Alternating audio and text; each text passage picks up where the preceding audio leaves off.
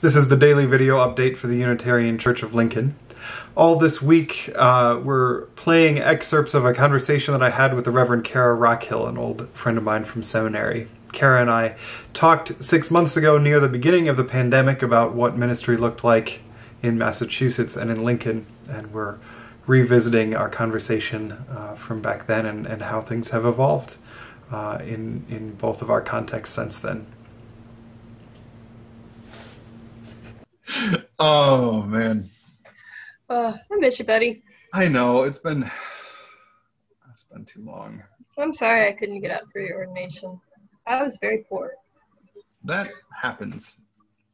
I still can't say that I'm not. I live in Cambridge, so my not great paycheck goes to rent, but um, yeah. Well, it's better than it was. But, you know, we'll have I don't know. We gotta get you and theory.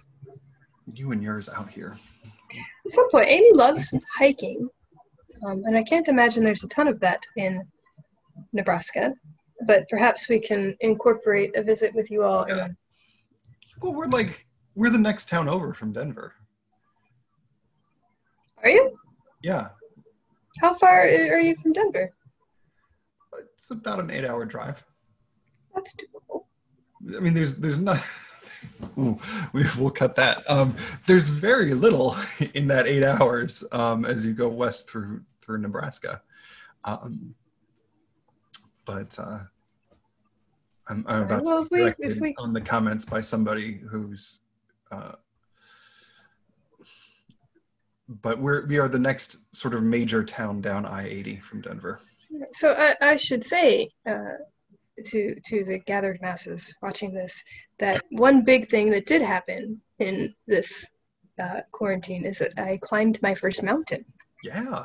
Uh, I climbed Mount Hunger in Vermont. Uh, I am not a hiker. Uh, I grew up on the beach uh, in, in, southern Maryland. Uh, it's, there are hills, but it's pretty flat, really. Uh, Amy is essentially a mountain goat in human form uh, and can climb and scramble up just about anything. Uh, so I've been practicing in our time together, and, and um, we attempted pretty early on in our dating to get me up Mount Mount Hunger. It did not go well, uh, and abandoned abandoned course. Uh, and so we, a few years later, tried again and and um, about two thirds, three quarters of the way up, I was like, I should turn around now. I'm pretty tired. I'm real tired, but uh, we're so close, and so we we climbed it, uh, and I didn't realize that getting down was as hard as getting up, with the exception that you can breathe better. But like, like it uses more muscles so anyway, I'm imagining that a climbing trip to Colorado will be in the future at some point, uh, and I'm be happy to have meet in the cornfield halfway. Uh, oh. Sounds great. Yep. Be nice to see you. Meet meet the tiny human. Yeah, she's not so tiny anymore. And the dog. I actually really want to meet the dog too. Yeah, that's that's fair. How are your puppies? They're doing pretty good. Uh, they are really enjoying the fact that we're always here. Yeah. Like that, that one human is almost always here is really great for them. Uh, yeah. So they're good. It took at first with the, the quarantine, I don't know about anybody else's dogs, but at first there were a couple of days but they were just like, Why are you still here? Yeah. Like you you have been here constantly for like two weeks and I need some alone time. Uh, and um, but that all changed. Amy and I went for a hike, and this was like, I mean it's like March or early April. We went for a little hike, and came back you know like three or four hours later, and the dogs were like, "Never leave again." And ever since they've been like, "We miss you all the time. Please snuggle."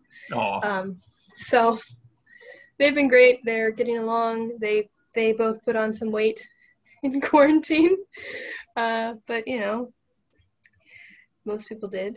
So yeah, yeah no, everything's you know.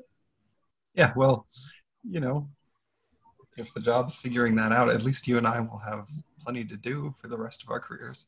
Yeah, right. Yeah, I think um, I've often like worried about what will happen if if civil war, if the apocalypse comes and all hell breaks loose. Uh, like it's like I'm a I'm a liability, right? Like I can't climb mountains. We've we've discussed that. I'm not fast. Uh, I I I can grow a garden and I'm reasonably charismatic. Like I can talk to people, right? That's those are my my zombie apocalypse skills. I can't even tie a knot. Like I'm I'm in I'm in trouble. But um, I'm reminded, and I think this applies to you too, though you are a Spartan, so you're in better shape. Um, that that being able to help people find meaning in life when everything is in chaos will probably be, continue to be a marketable skill.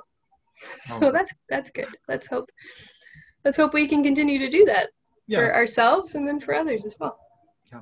Well, it's theologically consistent. Yeah. Uh, What is it? What's would you say it was um permanence and temporalness? The yeah, we were talking about the the transient and permanent in Christianity. Transient. Theodore So it's the Oh, this transient world where literally everything's changing. What are the permanent things we can hold on to? And uh, I think I agree with your your Unitarian dude. Is that how do we love? How do we love each other? How do we love ourselves? Oh. That's it. Certainly should be permanent. yeah. I'll go down swinging to make it that day. Hopefully not. We'll have more excerpts uh, from the conversation that Cara and I had as this week goes on. See you tomorrow. That's that's scintillating. Um, yes, like, yeah, that's getting cut, but okay, it's fine. yeah. Um,